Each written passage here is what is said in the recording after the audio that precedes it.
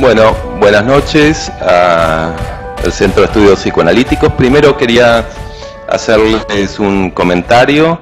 Este em, viernes y sábado eh, se realizan en APA una jornada sobre niños y adolescencia.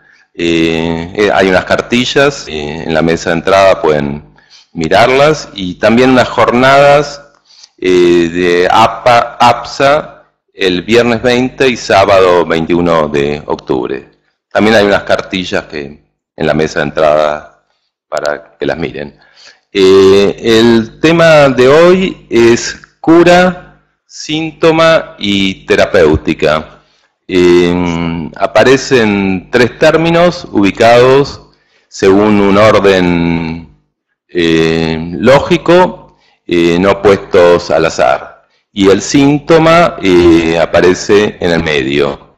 La vez pasada, en el encuentro El síntoma en la niñez, eh, Hilda Katz y Casilda Casado Sastre generosamente trajeron eh, material clínico del síntoma en la infancia y desmenuzaron sus sentidos y su entramado existencial. quien quiera ver el video, porque no estuvo quizás la vez pasada, lo puede hacer a través de nuestra página de APA, están todos los videos de estos encuentros. Eh, y nuestra tercera invitada, eh, Analia eh, trajo muy bien la dimensión de que mm, el síntoma no es un punto de inicio, sino que hace falta un recorrido para llegar al síntoma. Es un punto a alcanzar y hasta tener un síntoma depende de, muchas, de muchos elementos que se tienen que dar. Por supuesto está el deseo de los padres, está el goce oculto de los padres, que también impactan en, qué tipo de síntoma hará un sujeto, está el lo sociocultural, eh, también, bueno, por supuesto, la sexualidad freudiana, lo imposible de lo sexual, y también lo económico. De hecho, Marx fue uno de los primeros que trajo la palabra síntoma. Eh, y también tener un síntoma, esto algo trajo Analía, depende de una insondable decisión del ser. Este es un sintagma de Lacan. ¿Y cuál es la insondable decisión del ser? Bueno, entrar en el lenguaje, hacerse sujeto de la palabra y de las transferencias que a partir de allí se generan. Eh, lo que no entra en el lenguaje a esta altura del, curso, trataremos, bueno, voy a tratar un poco de, sistematizarlo. Eh, lo que no entra en el lenguaje más que eh, en la categoría de los síntomas entra en la categoría de los fenómenos. Allí nos encontramos con el autismo, la debilidad mental, em, alguna psicosomatosis, los núcleos psicóticos, la fijación perversa y algunas fijaciones de, de la adicción. Ahí, bueno, más que analizar, se trata de convocar alguna palabra que dé cuenta de eso. Em, después, bueno, la palabra cura la pusimos al, al comienzo y trajimos una primacía de la cura. Vamos a mostrar una foto.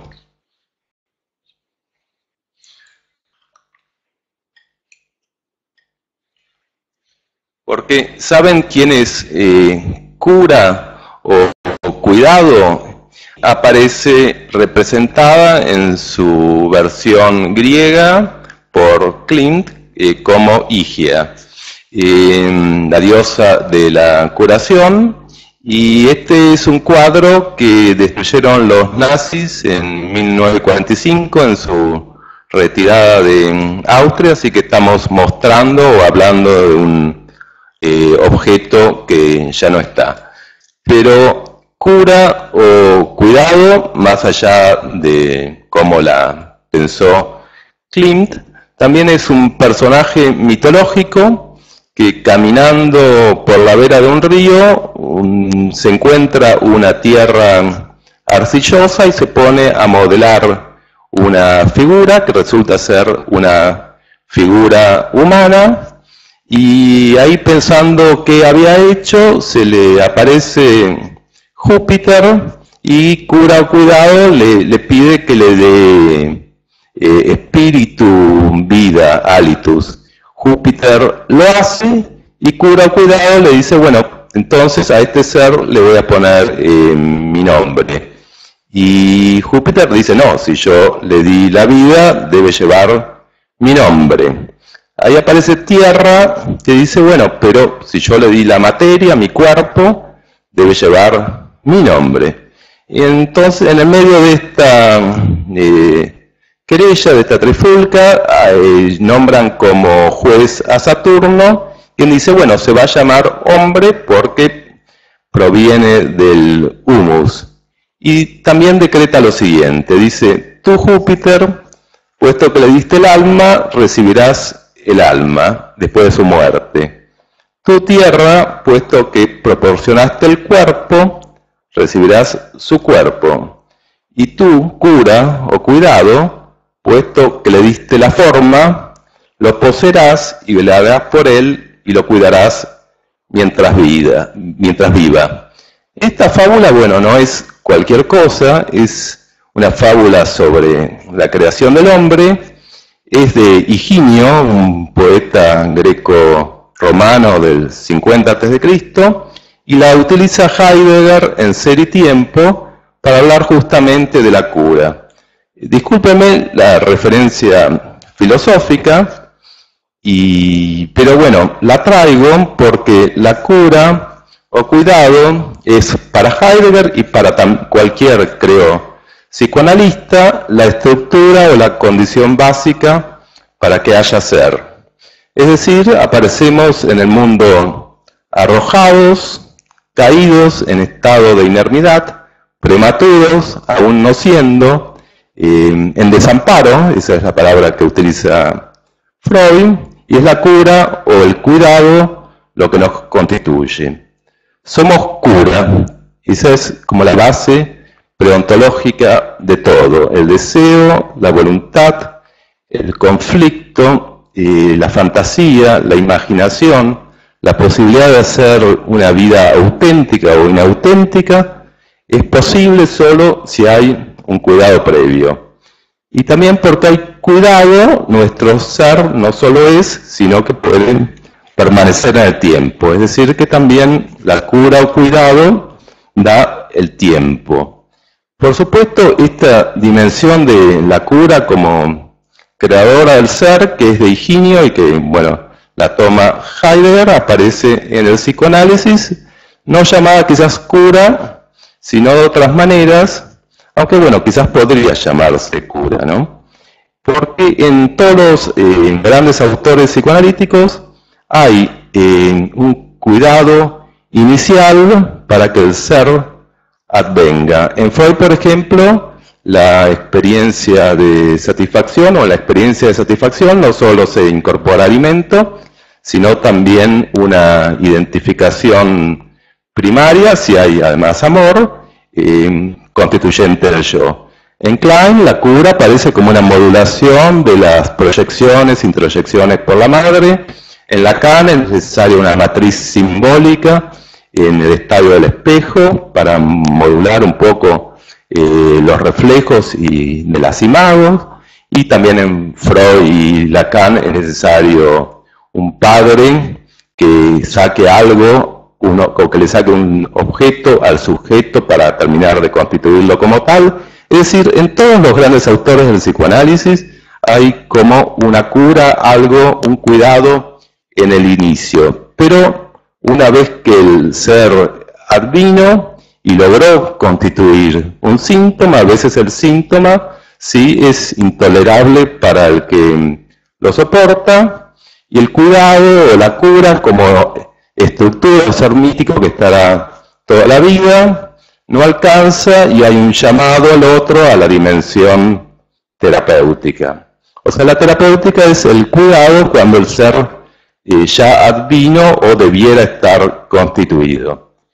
Y bueno, para hablarnos hoy de esta dimensión, la terapéutica, hemos invitado a la doctora Claudia Borenstein, que es actual presidenta de la APA, y al doctor Norberto Maruco, expresidente de la APA, ambos con una importante obra escrita, pero hoy principalmente por la larga experiencia que ellos tienen en la cura y en el cuidado de pacientes. Bueno, muchas gracias a, ambos por haber aceptado la invitación y va a ser un gusto escucharlos. Vamos a empezar con la doctora Claudia Borenstein. Bueno, así es. Hola, ahí. No, acá. Ah, bueno. Bueno, buenas noches a todos. Muchas gracias por estar acá. Hay, además de todos los que están aquí presentes, eh, de cuerpo y alma, hay presentes virtuales, también de cuerpo y alma, pero en la virtualidad. Quiero darles también a todos ellos la bienvenida. Hay un colega que se llama David Benheim, de Canadá, que al que quiero saludar especialmente, va a estar con nosotros el 7 de noviembre en APA, en forma virtual. ¿En forma virtual o en forma real? Forma virtual, ¿no? Virtual. ¿Eh? Sí, sí, sí, muy impresionante. Bueno, buenas noches a todos. Creo que voy a tener eh, una visión levemente diferente eh, de la que acaba de trazar Diego, pero siempre interesante, digamos, este, tener entradas distintas para los distintos temas, ¿no? En este caso, en el día de hoy, tengo un plan levemente ambicioso, no sé si lo voy a cumplir, que es el de trazar un recorrido desde el síntoma, pero en realidad tomar un síntoma fundamental, del cual ahora vamos a hablar, pasando por el tratamiento psicoanalítico para tratar de establecer la importancia en, la cura del recurso de la transferencia y la contratransferencia, y el vínculo que resulta de la transferencia y la contratransferencia, de la combinación entre ambas, tal cual como lo han aportado Willy y Madé Balanger en sus trabajos del 62 sobre la situación analítica como campo dinámico. El campo de la transferencia y contratransferencia. Eh, hablando entonces un poco de la Escuela Argentina de Psicoanálisis, que ha sido una escuela muy importante, tan importante que, que hemos podido hacer un diccionario. Traje un solo tomo porque me pesaban mucho los dos tomos, de 200 términos originales que han surgido aquí entre nuestros autores, entre ellos algunos de esos términos son del doctor Maruco. Y, bueno, luego eh, de, mis palabras hablará también el doctor Maruco de, de sus ideas, que han sido también una gran contribución al psicoanálisis argentino. Si uno tuviera que responder a la pregunta, ¿de qué se ocupa el psicoanálisis? Yo les pregunto a ustedes, díganme, en una sola palabra, ¿De qué síntoma principal se ocupa el psicoanálisis? ¿Cuál palabra dirían? ¿De qué síntoma? O sea, síntoma no vale. No, tengan miedo, no va a ser una clase interactiva, pero esta es una pregunta que quería hacerles. A ver, ¿alguno que se anime? ¿Un síntoma? Sí, sí, sí, sí, sí. Alguien lo dijo. Angustia, bien, esa es la palabra. Eh, el gran tema del psicoanálisis es la angustia. Tanto es así, ¿eh? recordará el doctor Maruco, que se desaconsejaba solucionar síntomas, porque si se solucionaba el síntoma, eh, se mm, perdía la oportunidad de descubrir el motivo profundo de la angustia y, el deseo, digamos, de psicoanalizarse que esta angustia portaba. Eh, Freud, como saben, habló de ella en muchas ocasiones, el gran texto freudiano, Inhibición, síntoma y angustia, Creo que, digamos, estamos pensando en LAPA en hacer los, no sé, 100 textos que un psicoanalista no debe dejar de leer para ser psicoanalista. Uno es ese, inhibición, síntoma y angustia. Voy a decir después otros dos, pero no son solo de Freud. Em, para eh, José Luis Valls, que hizo un diccionario freudiano, que estuvo aquí, ¿no? Sí, estuvo aquí. Estuvo aquí eh, dando una clase. Para él hay una sola teoría de la angustia, una teoría que se va complejizando a medida que se profundiza en el conocimiento del funcionamiento mental. Lo que varía son los motivos que la han ocasionado y las explicaciones que tengamos sobre estos motivos. Hay entonces un punto de vista económico que Freud nunca abandonó, porque siempre formó parte de la metapsicología, el punto de vista económico, eh, por, por el cual la acumulación de libido insatisfecha se transforma en angustia. Y este es el mecanismo de las neurosis actuales, actuales que Freud describió como sin mecanismo psíquico, o sea, porque no era necesario que actuara la represión. A diferencia de las psiconeurosis, que son las fobias, neurosis histérica y obsesiva, donde participa el mecanismo psíquico de la represión y otros mecanismos de defensa del yo. En la segunda teoría de la angustia ya no es solo económica, sino habiendo incorporado yo ya la idea del yo surgida después de la introducción del narcisismo y ya pergeniando la segunda tópica, yo, ello, super yo, aparece el yo como sede de la angustia y productor de la angustia señal, como defensa frente a angustias de mayor magnitud de origen traumático, principalmente la gran angustia del trauma del nacimiento. Entonces la segunda teoría va enhebrando la teoría anterior, también con la segunda teoría de las pulsiones, de vida y de muerte, la segunda teoría del aparato psíquico, en términos de ello, yo y super yo, y se da entonces eh, en este texto una síntesis brillante. La acumulación explica el trauma de nacimiento, las neurosis actuales y alguna patología psicosomática. Ante un nuevo trauma se desencadena la defensa del yo, que es sede de la angustia, o sea, que es quien siente la angustia. Y esta entonces provoca la angustia señal que desencadena y activa la represión. Esto hasta aquí Freud y entonces voy a traer una autora que también habrán escuchado aquí en, este, en estas clases, que mm, parte para toda su teorización, todo el, edificio teórico de esta autora, que es Melanie Klein, es la angustia.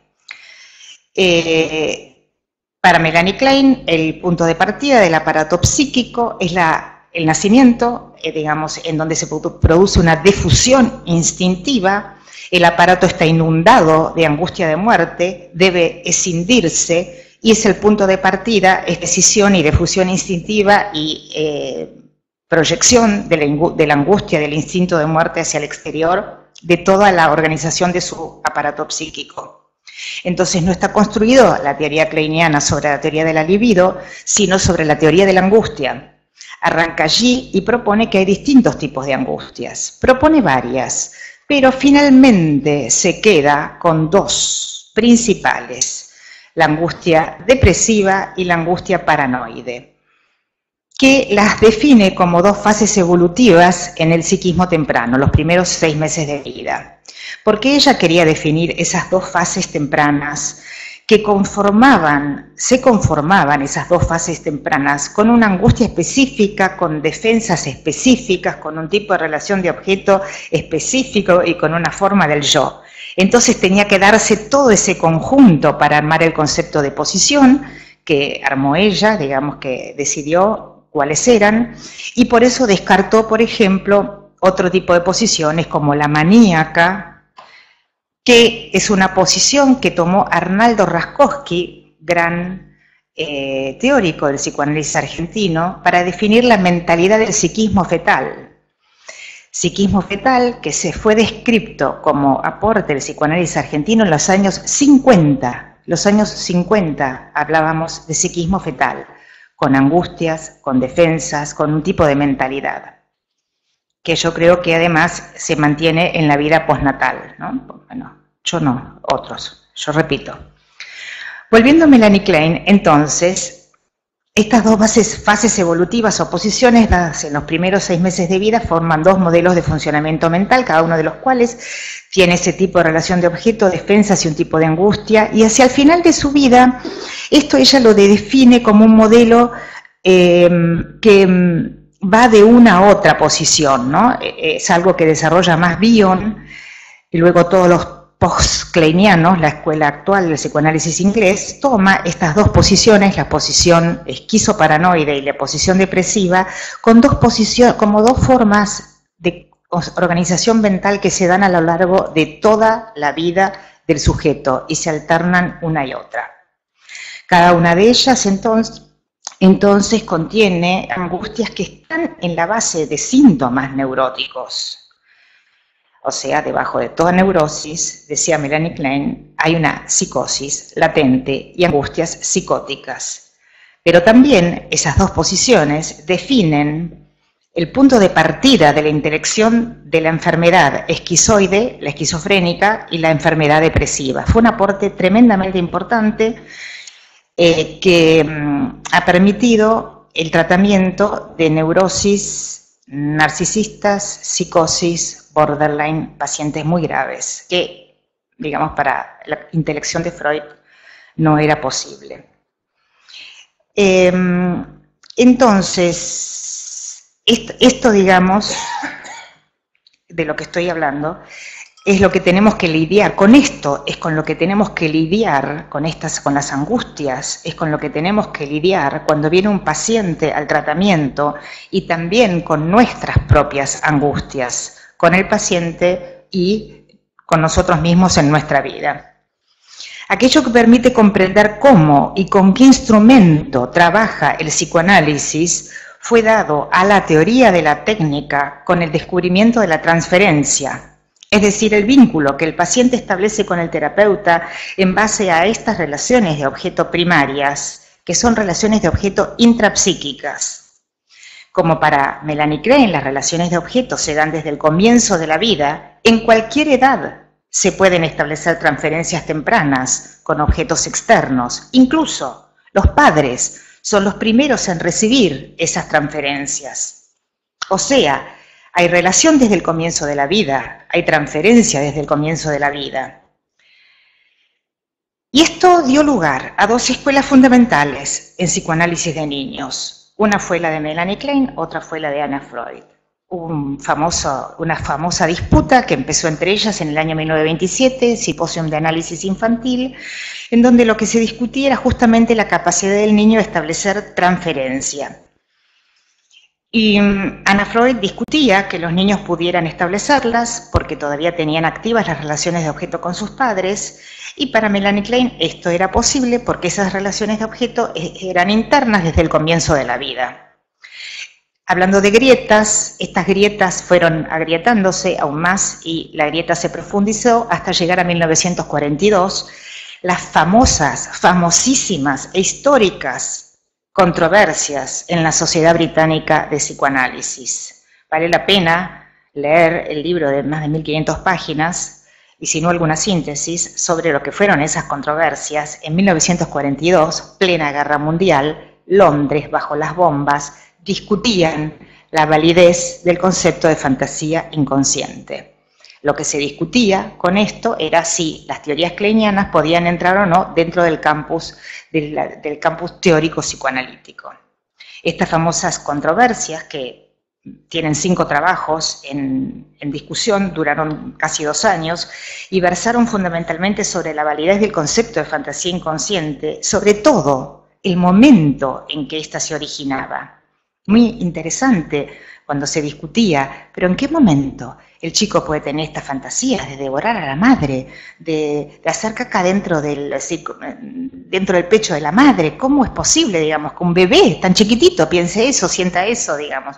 Se discutía de, de una forma muy profunda la idea de fantasía inconsciente y no era un tema menor, porque se determinaba con ello el origen de la vida mental.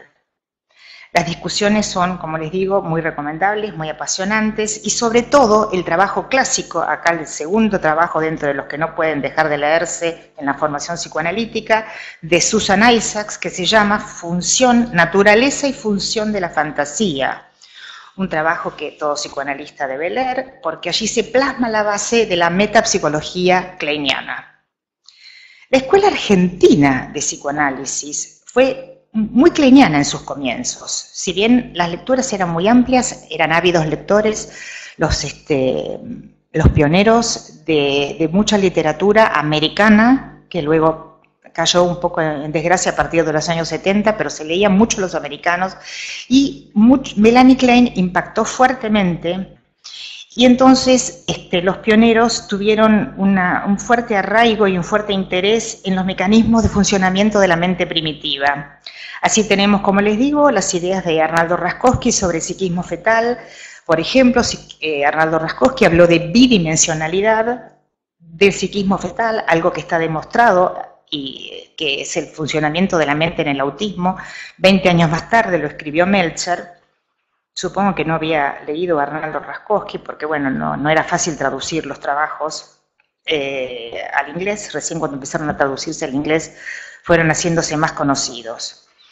Eh, fue, como les dije, el psicoanálisis argentino tiene, en, este, en esta obra hay unos 200 términos originales. También biografías, pero está en construcción, digamos, ¿no? Todavía. Hay muchos desarrollos sobre el psiquismo temprano, por ejemplo, la posición indiferenciada o glishko-cárica de José Blecher, eh, la posición depresiva básica, de la cual hablaba Enrique Pillon Rivière, mucho sobre psicopatología, psicosis, medicina psicosomática, psicoanálisis aplicado, eh, y distintos encuadres psicoanalíticos, por ejemplo, fue muy importante el desarrollo de la teoría de los grupos de Pillon Rivière, luego la teoría de las relaciones y de las terapias multifamiliares de García Badaraco, eh, la teoría de los sueños de Garma, la teoría de la feminidad de Mary Langer, el psicoanálisis de niños, que fue pionero en, Argentina con las ideas originales de, de Herminda Verasturi, que introdujo ella la hora de juego diagnóstica. Entre los aportes a la teoría de la técnica, que lo que caracteriza a la escuela argentina también es el estudio de la teoría de la técnica y la contratransferencia. Tanto Freud como Klein la consideraron como algo, digamos, que debía quedar fuera del tratamiento psicoanalítico en el análisis del analista, y mm, no contaminar la situación analítica, ya que el analista se manejaba, digamos, el modelo del analista que se aplicaba del analista como espejo, que debía reflejar los problemas del paciente, pero muy tempranamente en Argentina se comprendió que existía entre paciente y analista un vínculo del cual el analista no podía estar ausente, sino que formaba parte del mismo, era parte constitutiva de este vínculo y el elemento fundamental de la cura. Entonces se dieron aquí los primeros desarrollos de que hizo Racker sobre la contratransferencia complementaria y la contratransferencia concordante. La contratransferencia concordante sería la base de la empatía y la complementaria la base, digamos, de eh, lo que podría luego despertarse como resistencia en el tratamiento del paciente. Eh, porque es la identificación del analista con los objetos internos del paciente, generalmente su super yo. Por eso, muchas veces la interpretación del analista es vivida como una crítica por el paciente, no porque el analista pretenda hacer una crítica, sino porque desde los objetos internos del paciente colocan al analista en la posición de un super. Esto, digamos, en las hay unas consideraciones actuales que a mí me apasionan especialmente, que tienen que ver con el enactment y la puesta en acto, en donde el analista se comporta de determinada manera en el análisis según la presión que ejerce el paciente sobre él para que ocupe ese lugar de objeto interno que el paciente necesita. Y muchas veces el analista no tiene más remedio que hacer esto, porque su respuesta es inconsciente. Entonces, ¿de qué modo cura el análisis. El análisis cura por el vínculo. Muchas personas se curan por los vínculos, por ejemplo, por amor. Existen muchas curas por amor, no solo en las telenovelas, algo en la vida real hay algo de eso también.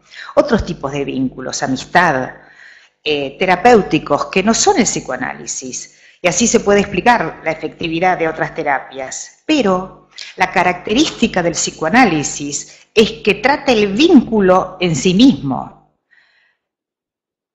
Y lo vincular. Es, eso es el objeto de estudio del psicoanálisis. Aquello que ha pasado en el vínculo tempranamente y que ahora en la cura se repite con el analista y es transformado en un relato.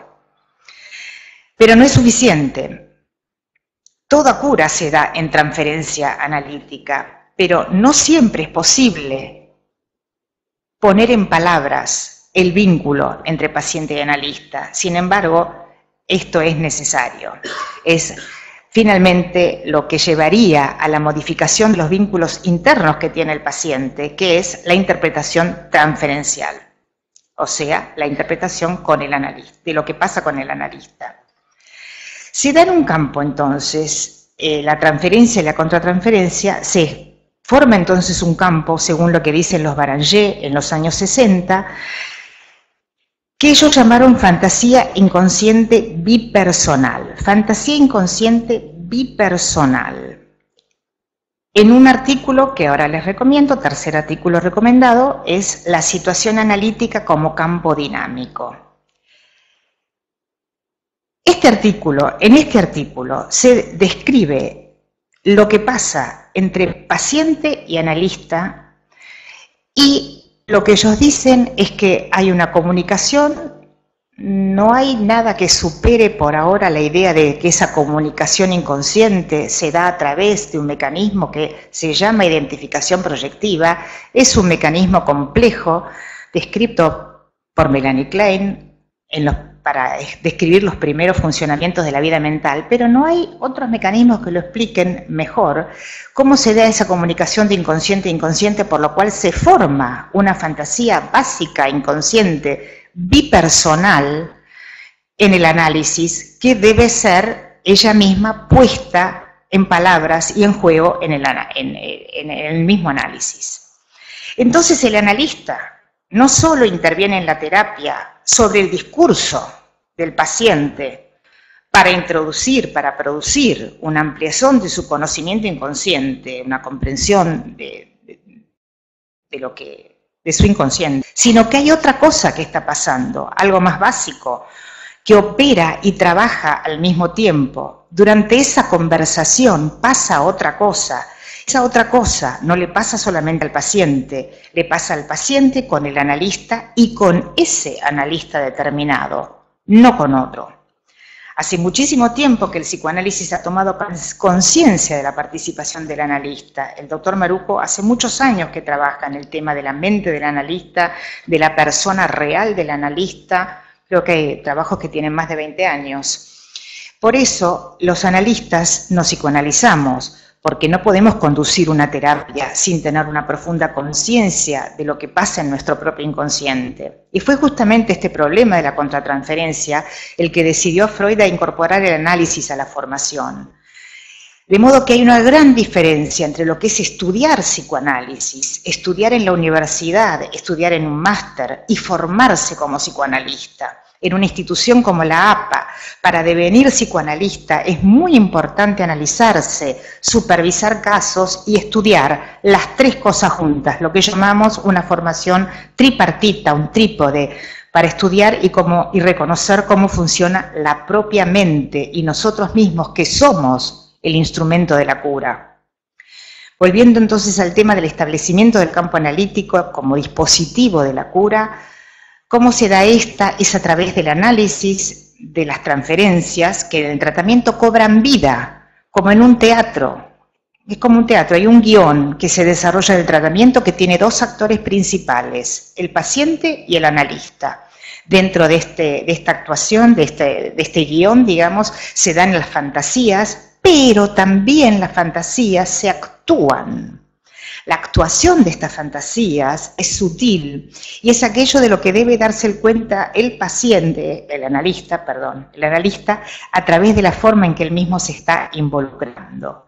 El analista debe darse cuenta en cada sesión cuál es el punto de urgencia a interpretar. En cada sesión hay un punto de urgencia, nos habíamos olvidado de hablar del punto de urgencia, y ese punto de urgencia es siempre un punto de angustia.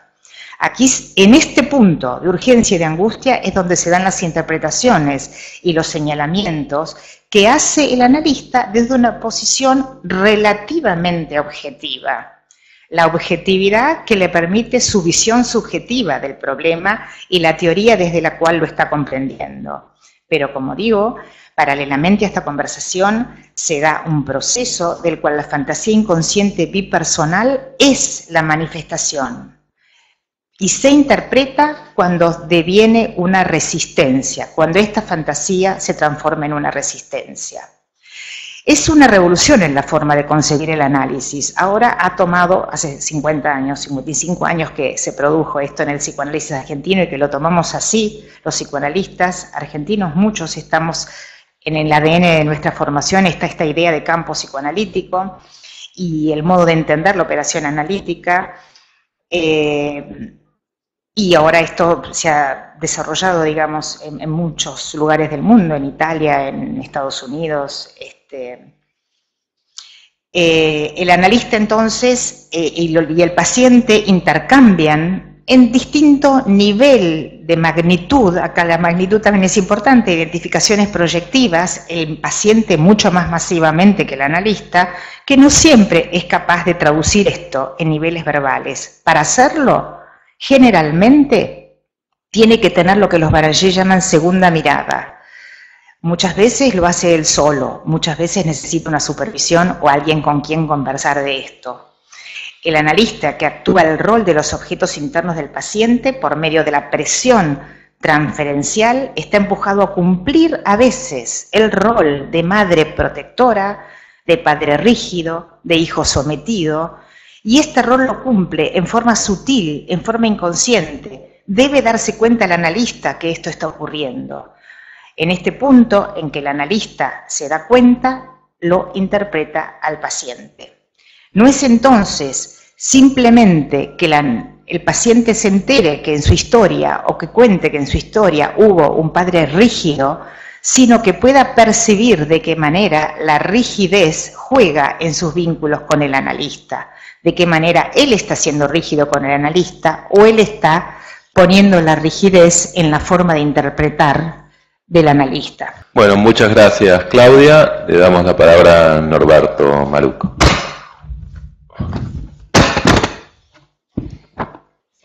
Bueno, buenas noches, muchas gracias por estar acá.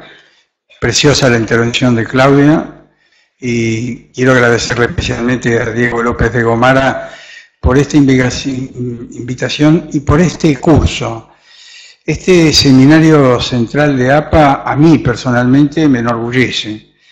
Me enorgullece por ustedes que están acá y me enorgullece por esto que quiero decirle. Me parece que López de Gomara como conductor de este seminario central, seminario central tiene un buen nombre, ¿no? Es el seminario central de APA hacia el exterior. Ahora nos pueden ver además de otros lugares del mundo y de acá. Pero digo, este seminario tiene, yo he leído el programa de ese seminario, lo escuché a Diego lo que dijo en las primeras palabras, la escuché a Claudia, tiene la síntesis de lo que es APA.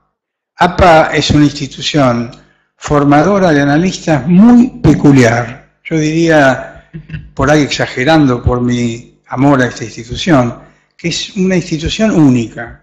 Pero única y esto que hizo Claudia recién, este desarrollo de lo que fue el psicoanálisis argentino y en el mundo, es muy interesante porque APA lo vivió a lo largo de los años. ¿Qué quiere decir?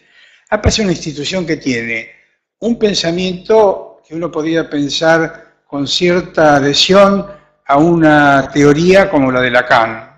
Tenemos un grupo importante de colegas que adhieren a esa transferencia a un autor tan importante como es Lacan.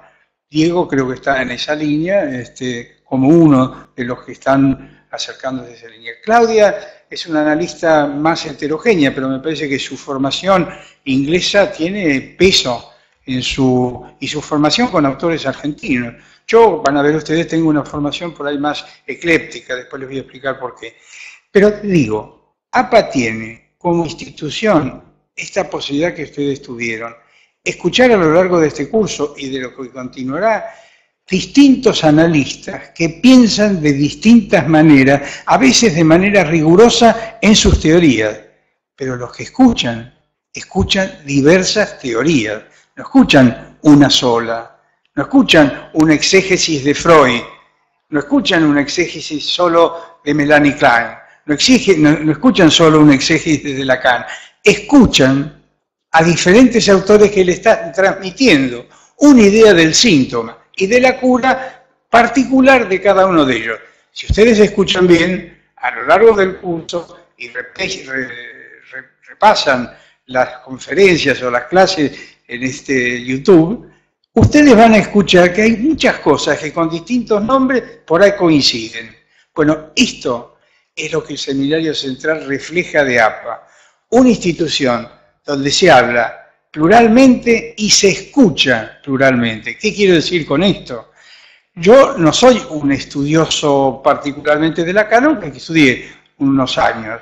Estudié Melanie Klein, estudié este, parte de Dion, estudié mucho más Freud, estudié Green, pero yo estoy, ¿cómo le podría decir? Por mis poros, por mi piel, se han introducido ideas de los otros, porque nosotros tenemos una virtud, no solo tenemos teorías, las explicitamos, sino nos escuchamos pensar diferente. Y esto me parece que hoy en día, en el psicoanálisis actual, es definitorio, por lo menos para mí. ¿Por qué es definitorio? Y ahora voy a empezar con lo que quiero hablarles hoy, que me invitaron.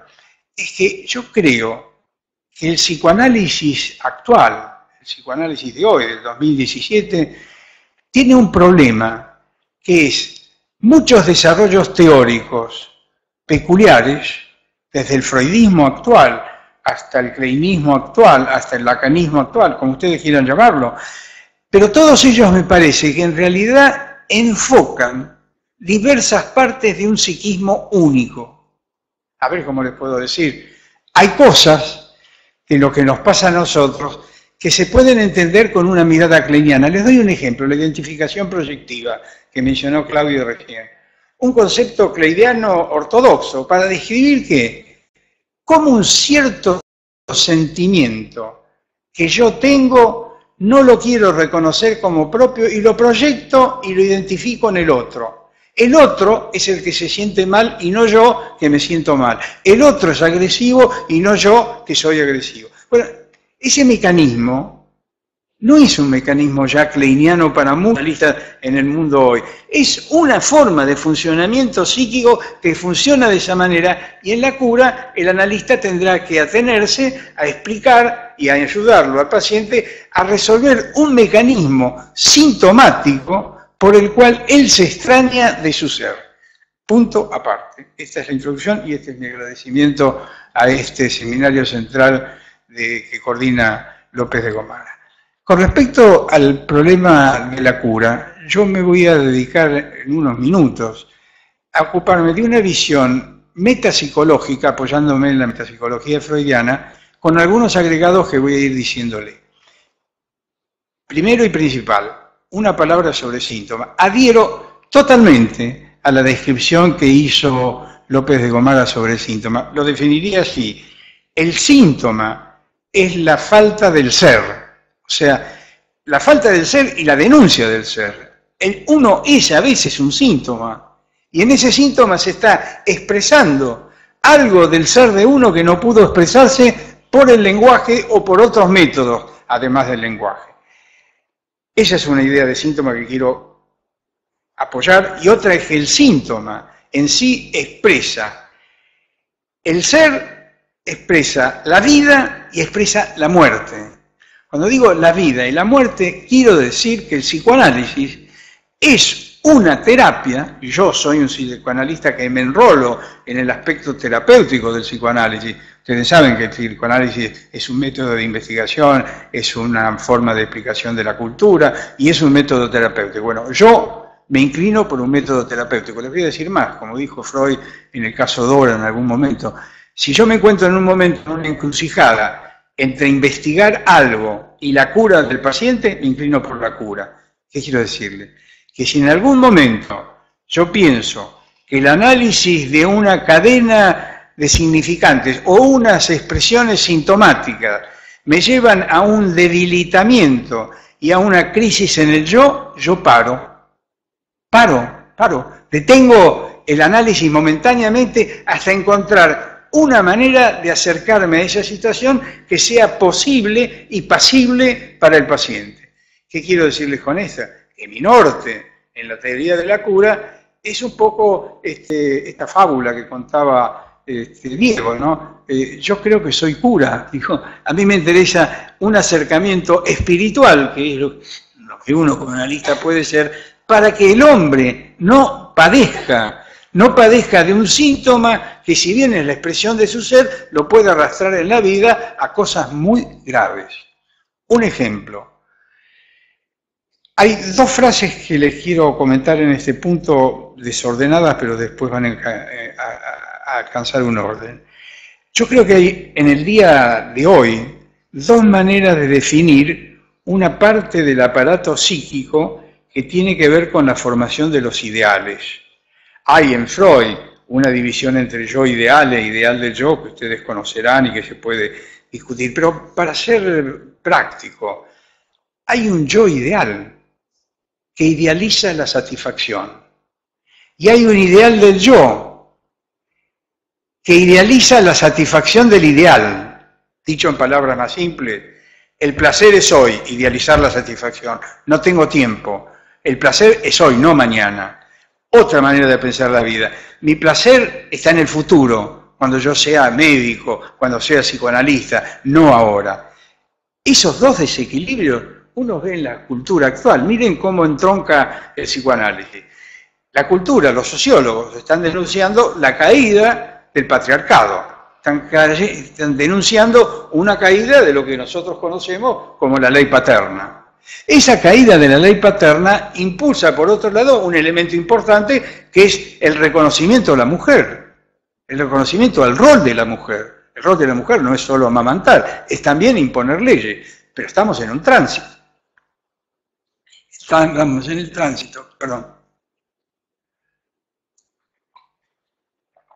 Estamos en el tránsito de una ley decidida, una ley este, impoluta que ponía orden a una ley que se está mezclando. Mientras no hay ley, mientras no hay ley, o la ley está en este proceso, lo que se produce es que no hay freno de las pulsiones. Entonces, cuando ustedes se preguntan, ¿cómo es la cultura de hoy? ¿Cómo es la cultura de los jóvenes? que buscan la descarga inmediata, la drogadicción, este, eh, bueno, todo lo que ustedes conocen, es producto de una falta de unos ideales que le puedan sostener la descarga pulsional. En esa descarga pulsional hay un día en que el paciente dice, voy a tomar merca, cocaína, pero si la tomo me puede ir mal, pero si no la tomo, y si la tomo por última vez, y en esa última vez, es la última vez literal, se pasó de dosis y se mató. ¿Qué puede hacer uno frente a esta historia con respecto a la cura? Una, tener en cuenta que hay algo inconsciente, podríamos decir en un nivel inconsciente, el primer Freud, el Freud del inconsciente, de los sueños. Este inconsciente tiene algo que ver con esta conducta mía que empuja a una conducta destructiva o a una conducta repetitiva. El día de hoy es igual al de ayer y el de ayer va a ser igual que el de mañana. Todos los días lo mismo. Esta es la depresión que asola, que se transforma en una epidemia en el mundo moderno. Hoy en día la OMS, en el año 20, declaró que la depresión va a ser la segunda enfermedad en el mundo después de las enfermedades cardiovasculares. ¿Qué nos dice eso? Algo está pasando en el psiquismo en relación a la cultura y en relación a la familia, en relación a las leyes paternas, a todo el movimiento en que se gesta lo psíquico. Bueno, sobre eso me parece que uno como analista tiene que intervenir. ¿Cómo? Yo les voy a decir después algunas cosas sobre cómo. Pero lo que quiero plantearles es esto que lo dijo tanto este, Claudia como Diego, que es el momento en que se conforma el psiquismo es como un momento clave en el desarrollo psíquico, clave, porque en el momento en que se conforma el psiquismo, a mi modo de ver, no es solo con, con el momento en que lo que hablan los otros se transforma en mi manera de hablar. El lenguaje me atrapa por el otro, con mayúsculas que se viene encima mío, digamos. Este es el primer Lacan también, como hay un primer Freud, ¿no? Un primer Lacan que pone en el lenguaje, en el estudio de la lingüística, todo un contenido fundamental en lo que se puede llamar cura en psicoanálisis, que es ayudar al individuo a que disminuya su padecer. Pero está Melanie Klein, está Pion, está Melanie Klein con el estudio de las ansiedades o angustias arcaicas, con esto primario que tiene que ver con el primer encuentro entre el niño y su madre. Primer encuentro que podríamos cuestionar si existe en el momento fetal, creo que ese es todo un ámbito que desarrolló Raskowski y que todavía está en pleno desarrollo, pero quedémonos con el encuentro entre la mamá y el pecho. ¿Qué es lo que descubre el psicoanálisis contemporáneo? Que en el momento en que se encuentra la necesidad del niño de comer, tomarle el pecho, chupar la leche, para regular su glucemia, que bajó por el ayuno que el chico tiene cuando, se, cuando nace, en ese encuentro con la madre, la madre le provee de leche, pero además de leche, le provee de amor, le provee de cariño, le puede proveer de odio, también, reconozcámoslo, después si tenemos tiempo hablaremos de eso, y le provee de, de sexualidad. O sea, pero no de una sexualidad consciente, no estoy hablando de una madre perversa, estoy hablando de una mujer que vuelca en el hijo su insatisfacción por ahí conyugal, en un periodo en que la sexualidad entre la pareja está en detrimento, está disminuida. Entonces digo, en ese momento uno puede entender lo que plantea Claudia, uno puede entender y lo que plantea Diego. Hay algo que responde a la tierra, que corresponde al cuerpo y al cuerpo, el cuerpo irá a la tierra. Y hay algo que corresponde al otro y se encontrarán con el otro en el nacimiento de lo psíquico. Entonces, yo digo, lo que se dice habitualmente es que el bebé queda satisfecho cuando termina de mamar. Lo que no se dice tan claramente, pero que uno lo ve, es que el bebé se queda jugando con el pezón, que lo chupa, que lo muerde, que lo acaricia, y lo que no se dice y se mantiene oculto con una cierta vergüenza victoriana, es que la madre disfruta de esto. No es una madre este, ajena a esto. Le gusta que el bebé juegue con su pezón. Le, da placer. Eso es la constitución de la vida, de la vida psíquica. Se une una pulsión que viene del cuerpo con una cosa otorgada que es la pulsión de la madre que se la da al hijo. Bueno, si ustedes entienden esto y piensan que es así, como yo creo que es así, dicho por muchos autores de muchas maneras, con Bion, con la capacidad de reverir. Bion, por ejemplo, es un autor inglés, como recordó Claudia, muy importante, que se pone a pensar en el tratamiento de psicóticos. Y cuando se pone a pensar en el tratamiento de psicóticos, descubre que los psicóticos tienen una dificultad de pensar, de pensar, tienen atacado el pensamiento. Uno lo ve en muchos pacientes que no son psicóticos. O sea, uno ve pacientes neuróticos que en un momento dado no es que no hablan porque están reprimiendo, no hablan porque no hay más palabras, no hay vacío, hay ausencia. En eso difiero con Diego de que los eh, síntomas que no son lenguajeros, para decirlo así, del lenguaje verbal, son fenómenos. Me parece que no, son síntomas expresan por fuera del lenguaje zonas del aparato psíquico. Tenemos zonas no solo neuróticas, zonas que son las neurosis actuales de Freud, zonas que son el vacío mental descrito por, por Green, pero en esa zona lo que descubre Bion con experiencia es que si él pone, él se pone a pensar los pensamientos que el psicótico no tiene, puede brindarle al psicótico la posibilidad de pensar. ¿Qué me dicen? ¿No estaba pensando en la cura? Bion estaba pensando solo en un interés intelectual abstracto, no, estaba pensando cómo ayudar a ese tipo que pueda pensar. Bueno, esto si esto es así, esto es lo que los Paranché describen de otra manera como campo dinámico. Esto es lo que en otra manera este, yo describo como la apuesta pulsional del analista con respecto al paciente. Entonces, cuando uno centraliza la idea de la cura, centraliza conceptos teóricos importantes. Inconsciente. Ello, miren qué diferencias del ser. En el inconsciente, cuando yo lo hago consciente, aparece para Freud la iluminación de la conciencia, después discutida, digamos. ¿no? Cuando aparece la segunda tópica con el concepto de yo, ello y super yo, aparece en Freud la idea de que donde estaba el ello, lo pulsional casi anclado en el cuerpo, aparece el yo, un yo de representaciones, un yo de identificaciones, y Freud también agrega un yo de funciones, cosa que se podía discutir. Pero diga, se dan cuenta que es otra concepción de la cura. En una, la fantasía podría ser, si yo hago consciente lo inconsciente, lo curo al paciente de todo. En la otra, si yo hago que las pulsiones sean dominadas por el yo, la curo. Pero sin embargo hay un tercer Freud, o el último Freud para mí. El último Freud es el que aparece en el fetichismo y en la decisión del yo en el proceso de defensa, donde descubre una alienación constitutiva del sujeto que no pasa por la represión de la sexualidad, sino por una escisión. El yo se parte en dos para Freud uno que reconoce la realidad y otro que la desmiente. Miren qué interesante, ¿no? Si uno piensa, uno dice, ¿cómo? Pero entonces, ¿la última cura en Freud cuál es?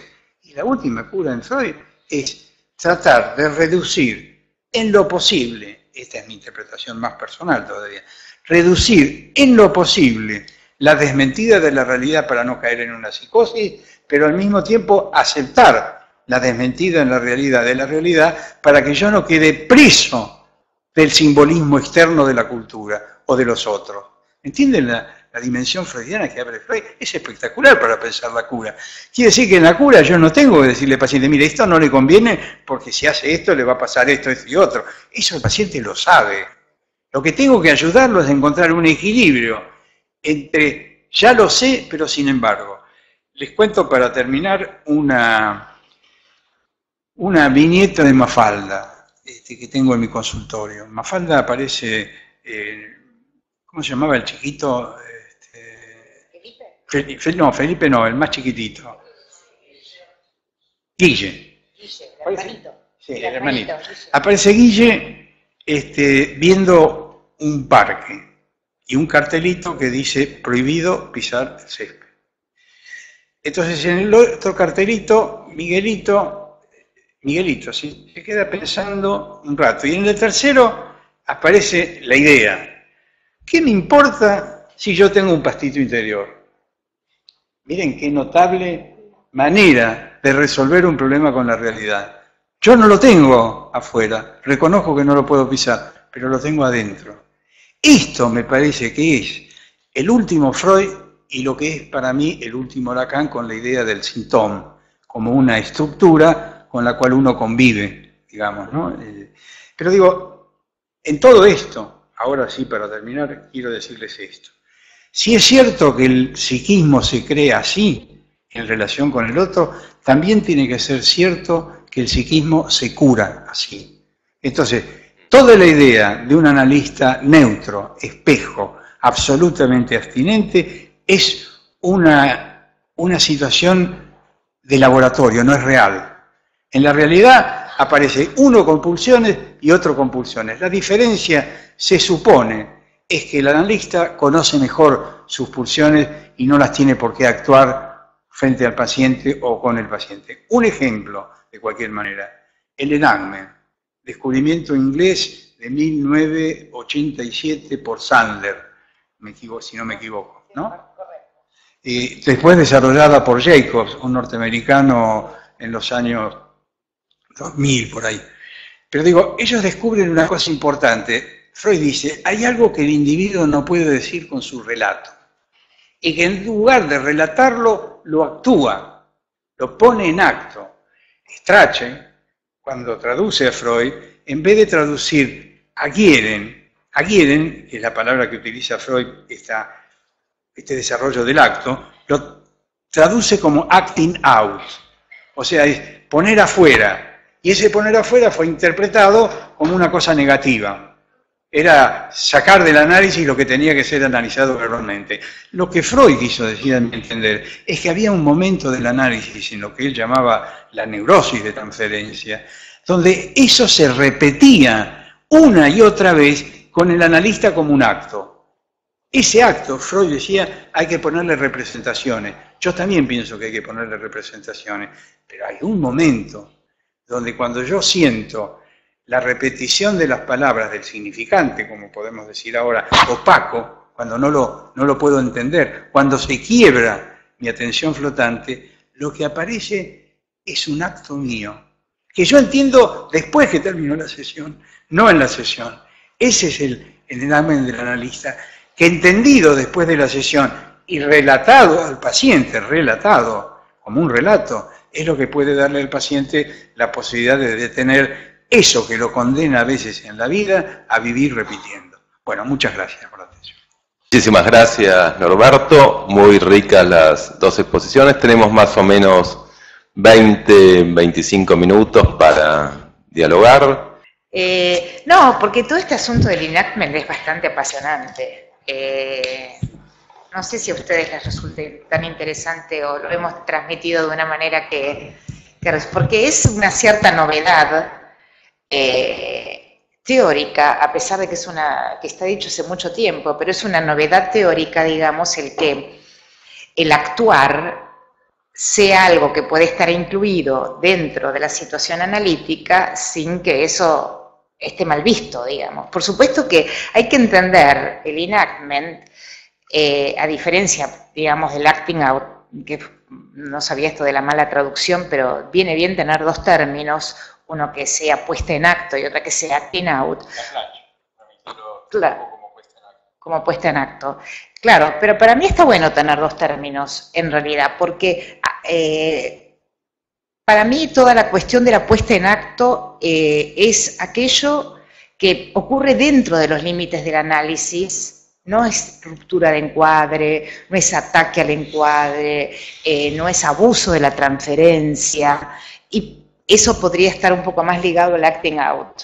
En cambio, esta actuación es sutil, esta puesta en acto es sutil, porque eh, es lo que hace que uno, por ejemplo, tome un rol. A mí me surgió todo esto porque en un momento tuve un paciente que me presionaba mucho para que yo conteste. Como yo soy analista de niños, estoy acostumbrada a actuar en el análisis. También eso me generaba bastantes problemas, porque si al final, digamos, uno se pasa jugando y cómo conjuga la parte de acción del juego con la parte de interpretación. E, es, una conjugación compleja. Algunos analistas en el principio de la formación te, decían que había que reprimir el juego. Yo me di cuenta, digamos, que es imposible reprimir el juego de parte del analista, porque si no jugás con el chico, entonces no se produce el análisis. Lo mismo pasa con el adulto. En realidad, si no interactúas con el adulto, no interactúas, que es una manera de jugar, no se produce el análisis. La interacción es, es necesaria.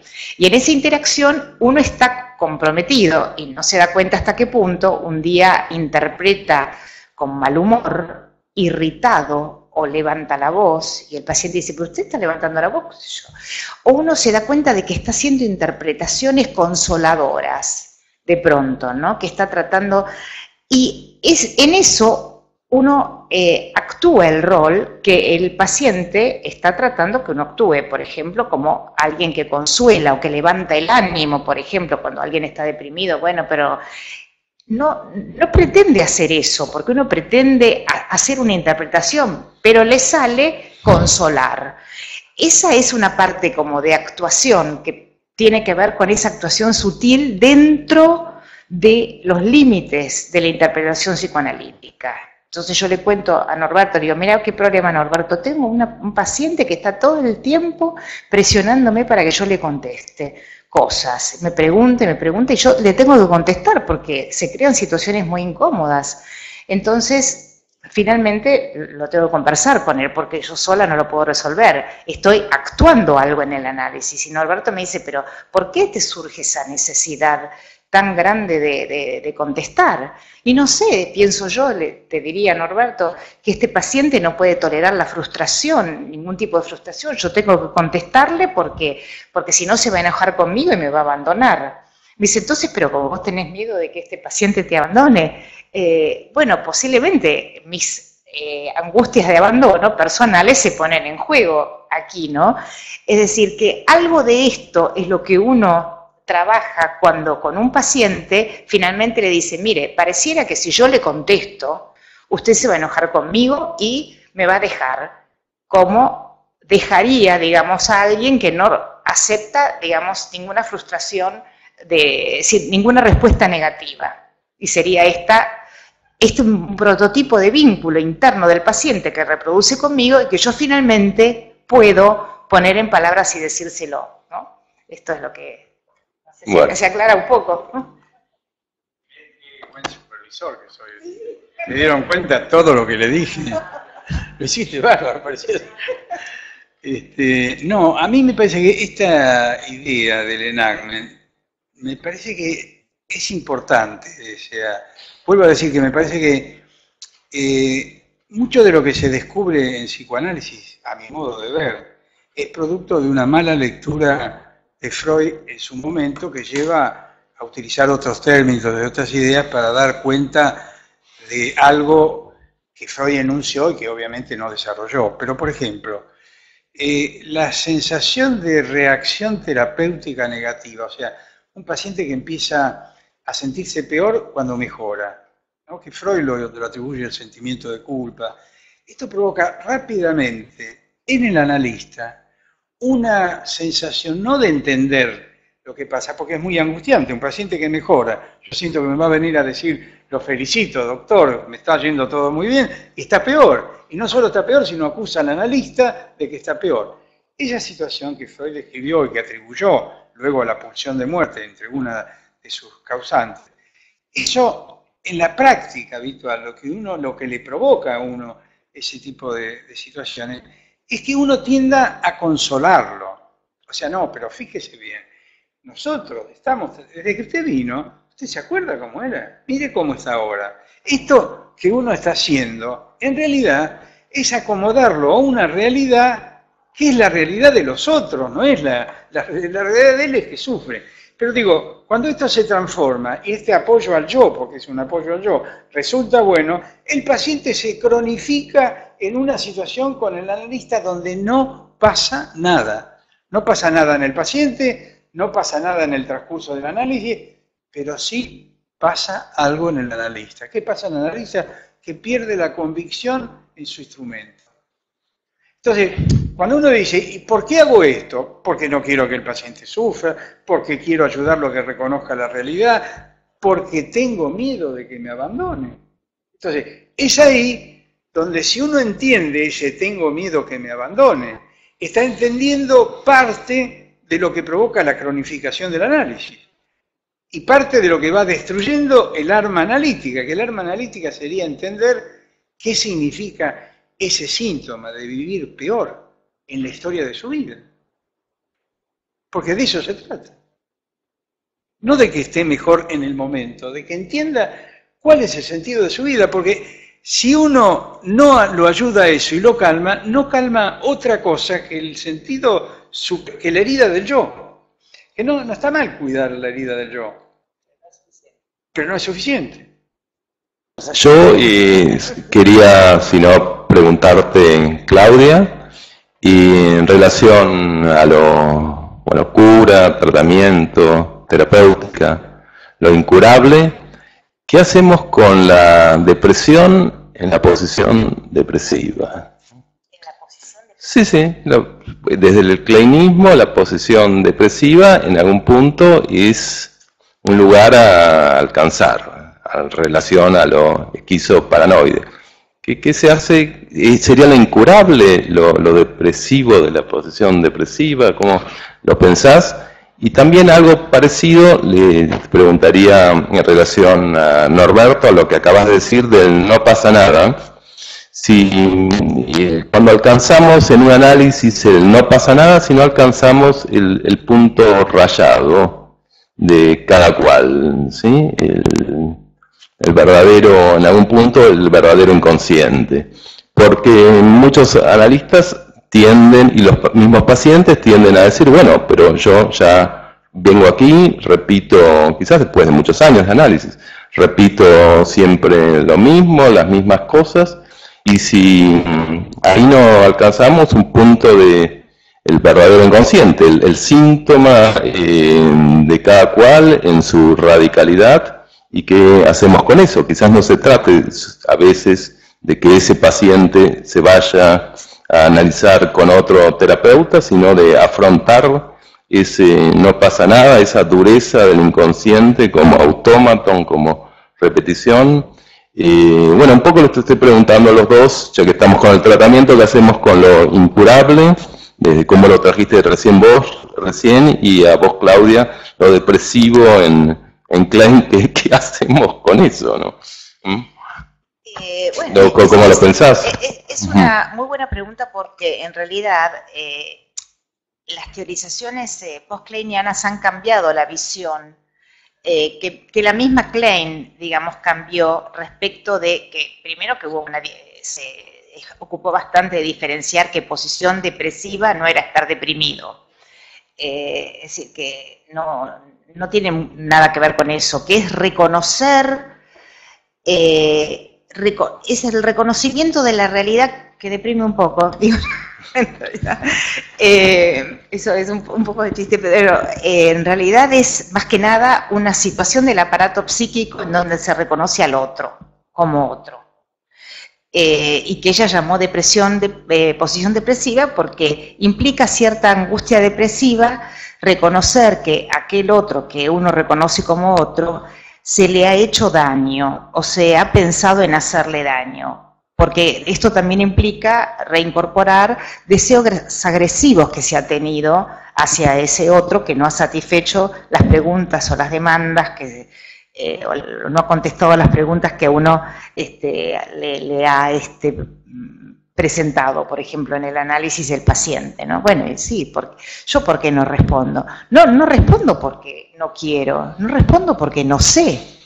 Esa es la verdad. No hay ninguna respuesta que yo no esté dando porque la sé y me la guardo y soy mala. Yo no respondo porque no sé.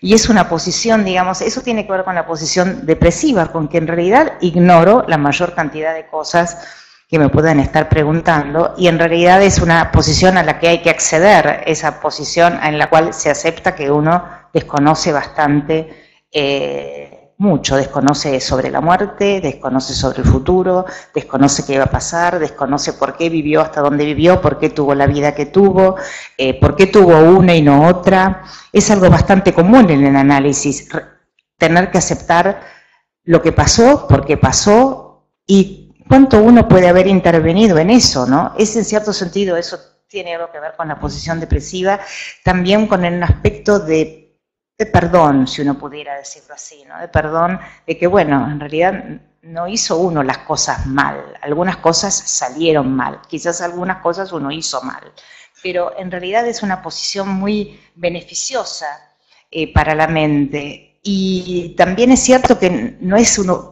una posición que se alcanza y dura, es una posición bastante reflexiva, pero uno la pierde y vuelve a entrar en caos ante momentos de cierta angustia, de persecución, y entonces hay siempre permanentemente una oscilación entre esa posición caótica en la cual todo se desmembra y se desordena en la mente, y luego todo vuelve a ordenarse otra vez. Entonces es alternancia entre la posición esquizo, es un modelo, ¿no? Entre la posición esquizoparanoide y la posición depresiva, es un modelo de funcionamiento mental para siempre, digamos. No es que uno llegó a una posición y no vuelve a la otra, vuelve y vuelve y es una espiral permanente, ¿no?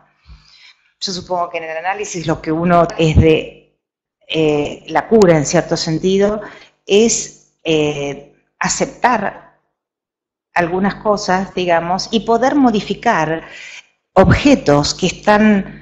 Madé decía, eh, hace poco hicimos un homenaje a Madé Baranger que falleció hace pocos días, hace pocos meses, ¿mes? meses? No sé, o más, bueno, que falleció hace poco, este año, y Madé decía, yo no sé cómo hacer con esta identificación del paciente que no le puedo retorcer el pescuezo.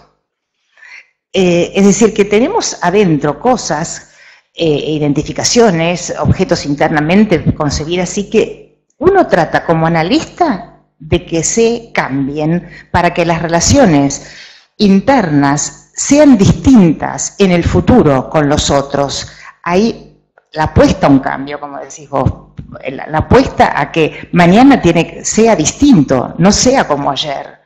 Que la relación que tuve o que creo que tuve con mi padre o que creo o que construí con mi padre no sea así con mi marido, ni con mi hermano, ni con mi hijo, que sea distinta porque ese no es mi padre y esa ya no soy yo